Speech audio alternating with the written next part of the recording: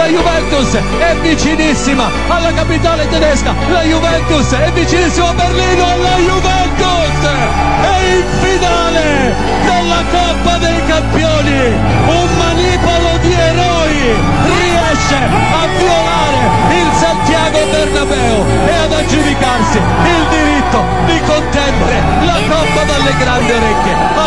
grande Barcellona di Luis Enrique. È stata una partita incredibile, gentili ascoltatori, una partita in cui la formazione bianconera campione d'Italia ha messo tutto in campo, il cuore, la testa, le gambe, l'anima, la voglia di rendersi immortali nella storia del pallone.